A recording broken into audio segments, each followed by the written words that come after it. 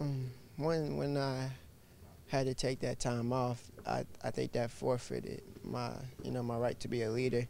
So and then me and Coach Cal sat down and talked, and he asked me what I thought I needed to do for the team. And you know, me being a point guard, I said being a leader, and he was like, "That's not what it is. It's just me going out there and playing hard and doing what I need to do to help the team." So that, that that's my way of leading. Is just you know going out there playing hard and you know doing everything that the team needs me to do. Do you feel like you have that right back though now? I mean, you feel Um, like you've earned earned back the chance to, you know, to talk to guys, to, to push guys because you're you're out there pushing with them. Um, yeah, but I still feel like you know with me taking all that time off, that I need to be listening to them more. And I'm playing well, but you know they, I think they still have more of a right than I do. Cal said, you know, he talked to you after the game and said, you know, now where do we go from here? And Rick Pitino said, as good as you are, that he still thinks you can be a lot better. What, what's the next step for you?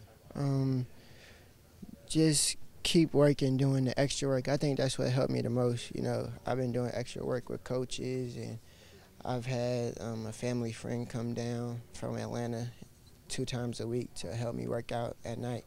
And I've had friends be in the gym with me late at night. So I think the extra work is what I need the most because I, you see, I could play 39 minutes. I might get a little winded, but you have those TV timeouts, and I, I could play the defense. It's just, you know, making sure that I keep everything, you know, right. Who was who was the coach that you guys were working with? You said that kind of, Um, Alex would be working off coming off picks and stuff We like that. we work with Coach Cal. Coach Cal directly. Yeah, Coach Cal worked with us one on one. What's his mood like in those kind of workouts? um, it's like actually real encouraging. Like, you know, he's telling you how good you're doing, and if you make a mistake, he'll try to correct it for you. But he's telling you how good, you know, it looks when you do it, and you know how it's gonna work in the game and things like that. That sounds different from the Cal and the practice Cal. Uh, yeah, I think Coach Cal in practice has to be like hard on you to get us to, you know, go harder in practice, so that we get our heart rate up to what it is in the games. He wants the practices to be harder than the games. And and, you, and the, what- what you said about Alex made it sound like maybe Alex is a sensitive person, which is nothing wrong with being a sensitive person. I wouldn't say sensitive. It's just, you know, Coach Cal is different than any coach that I've ever came up against, and I'm sure he's a different coach that Alex has ever had. And you know, being in high school, if your coach was to talk to you like that, you'll be like, you know, who are you talking to? You, you basically need me in high school. In college, you can't do that. You have to listen to everything he says, and you have to, you know, take it in and try to change yourself for the best. It sounds like Alex is taking it the wrong way right now. I I think that's what it is. You know, the screaming and stuff. It kind of gets to you, but in what way? What do you mean by that? um, How are you just taking like it the wrong way? just like I said, just you know, you Like never you had anybody scream at you before in a basketball game because in high school and AAU you were just so good and you basically could do whatever you want to. So no no coach was gonna scream at you. But when a when a coach screams at you now, like and he means business, like he'll actually take you out or he'll actually make a fool of you. So Has. Alex? Have you talked to Alex about how Uh, to, you know?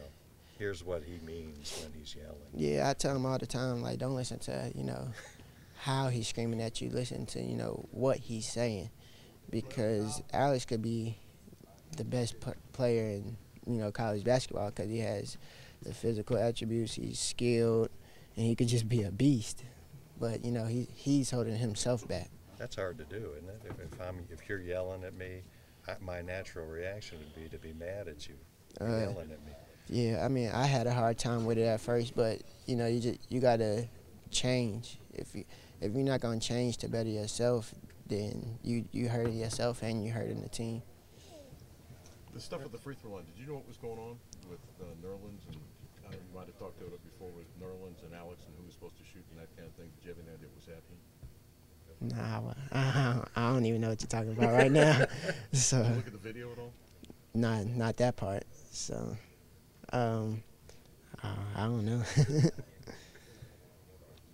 You think when uh, Alex figures it out and changes, all of a sudden the light bulb will go on for him? Uh, definitely. Once Alex changes and he's doing the extra work now, you're gonna see a, a totally different player. You know, being able to stay out on the floor longer, dominating like he can do, and everything like that. Is he does he know what is re, is wanted from him as as far as a role goes? Do you know what I mean? Sometimes I look at him and I get the feeling that is he comfortable with his niche where he fits in? Uh, yeah, everybody knows their role. Coach Cal makes that clear to everybody. So What's his? Wh- what is he supposed to be doing?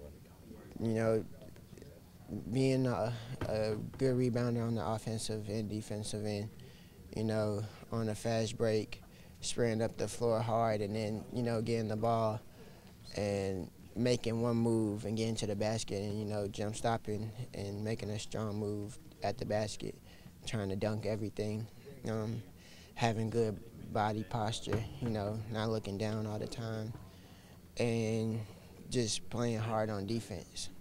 I mean, Fans, I think the fans are thinking that does Alex care? He's not playing hard. oh yeah, Alex cares, and you know, he gets mad, you know, when coach talks to him, and he gets mad when we're talking to him. So he he cares. It's just that's that's his demeanor, you know. He's just a, a chill guy, so he's not gonna show too much emotion. How hard is it to change? Like, what did it take for you